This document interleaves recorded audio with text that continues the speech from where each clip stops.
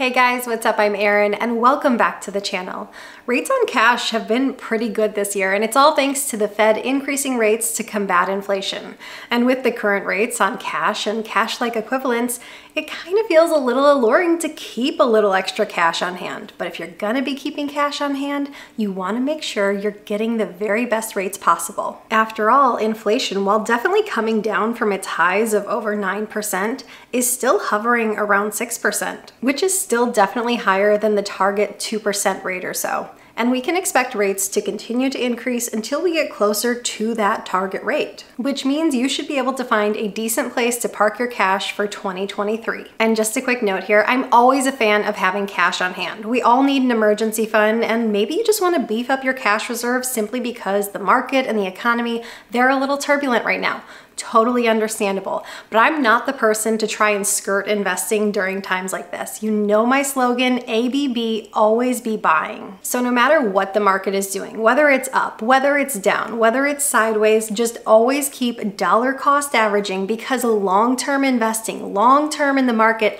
that's how you grow your wealth. That's how you beat inflation, not an entire portfolio just sitting in cash. With that said, where are some of the best places you can keep your cash right now? Because even even though the Fed has raised interest rates and you can easily find accounts that are paying 4 or 5%, there's still a lot of accounts out there that are paying pretty darn lousy rates. Like traditional savings accounts at the big banks, right now they're still paying incredibly low rates. The first step up in rates is going to come at high yield savings accounts. Most high yield savings accounts are found at credit unions or online banks. The rates I was able to find at the time of this filming have been 3.5% to 4%. In this same category, we could mention money market accounts, which function fairly similarly to a high yield savings account, but they're held at brokerage houses. Current rates at Fidelity and Vanguard for these accounts is over 4%, so right on par with those high yield savings accounts. Technically, money market accounts do invest your money, but they do so in government bonds, so very reliable, and that's why they reflect current interest rates. And if you already have a brokerage account set up at one of these brokerage houses, it could just simply be easy to open up a money market account rather than going and opening a new account at a new institution. The great thing about high yield savings accounts or money market accounts is that the money there is liquid and easily accessible. You can withdraw the money at any time. So if this is money you know you're gonna need in the next couple weeks for the next couple months, this is a great place to park it because you know it's always gonna be there. One caveat to note here is that these rates are not guaranteed. If you're opening up a new account at a new institution, make sure it's not just a teaser rate that lasts for just a brief period of time or on a certain dollar amount. Some of these accounts will actually offer a higher rate on say your first $5,000, but then a lower rate on any money beyond that. Also keep in mind that these rates can and do fluctuate based on what's happening in the market. If the Fed raises rates, the interest rates on these accounts will likely increase. But likewise, if the Fed reduces rates, the interest rates on these accounts will likely fall. And these changes happen quickly, sometimes the same day as when the Fed makes their announcement. CDs. CDs are generally going to have higher interest rates than high yield savings accounts. At the time of this filming, rates are about 4.5 to 5%. Now, as to why CDs pay higher rates than, say, a high yield savings, it's because they come with more restrictions. They may have a purchase minimum, but notoriously they have a lockup period, generally one to two years. But you can find ones with a shorter lockup period, maybe six months, or a longer lockup period, maybe five years. CDs can be a wonderful option, and just like savings accounts, they're FDIC insured so you know your money is safe. And you get the added peace of mind of knowing you've locked in an interest rate.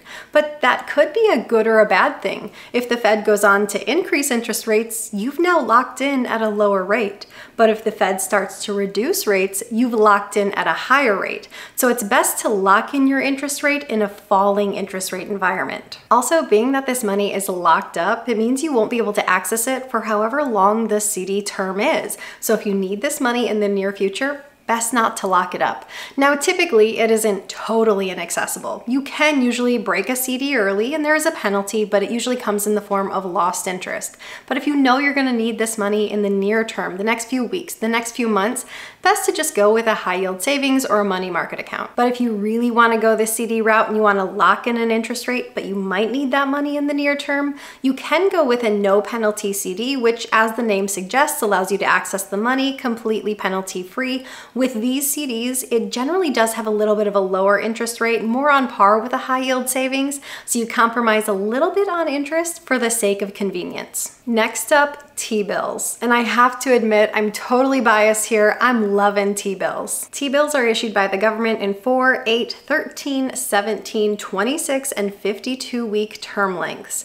Minimum purchase amount is $100 and the max purchase 10 million. So you're probably not gonna be maxing out on these. T-bills are sold at a discount of face value and that discount ends up being the interest rate. Also, T-bills are backed by the full faith and creditworthiness of the US government, so they're incredibly safe. You can buy them knowing the US government has never defaulted on its debts. Once you purchase a T-bill, that money is locked up for the length of that T-bill. So whether it's four weeks or eight weeks or all the way up to 52 weeks, once you make your purchase, that interest rate is guaranteed, but that money is locked up. You cannot access it until that T-bill matures.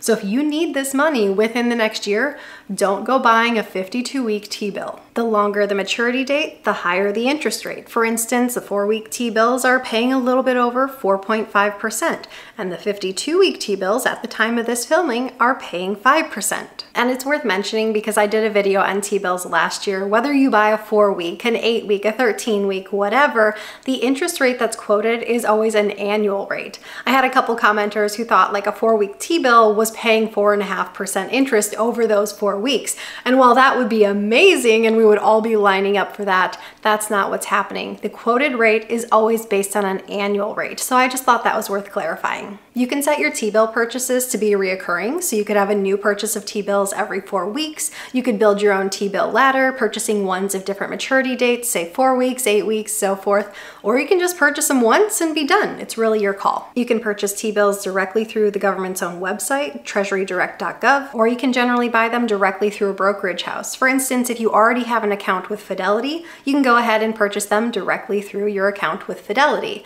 This may be the easiest route if you already have an account here. Now, personally, for me, I like going directly through the government's website, Treasury Direct, and it's simply because when I put money towards my brokerage account, I want that going towards the stock market.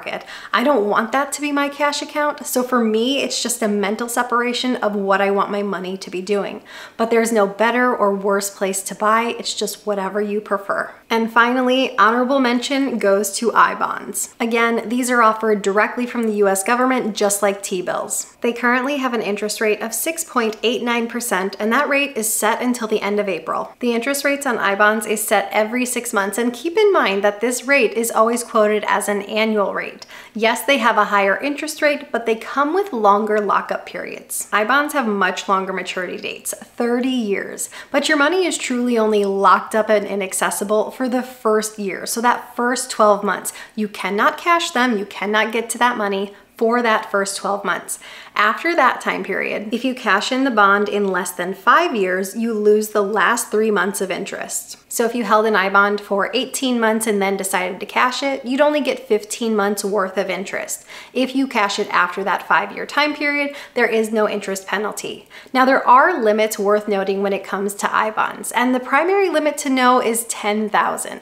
You can buy $10,000 worth of I-bonds per social security number. You can buy an additional 5,000 with your tax refund if you so choose. You can also gift I-bonds to others, or if you have a trust, your trust can purchase an additional $10,000 worth of I-bonds. There are a lot of places right now where you can easily get 3 or 4 or 5% or higher on your cash. There is no reason not to take advantage of these interest rates. Whether you're using a high yield savings, a money market account, a CD, T-bills, I-bonds, these are all wonderful places to keep your cash in that they're incredibly safe. It all really depends on how accessible you need your money to be and what works for you. Because the goal is that whenever you need it, your cash is there and at the ready. So where do you guys decide to keep your cash? Let me know in a comment down below. I post new videos every single week. If you got anything at all out of this one, please give it a like. If you're new here, please consider subscribing. Or if you know of someone who might get something out of this type of content, please consider sharing. I'll see you soon. Bye.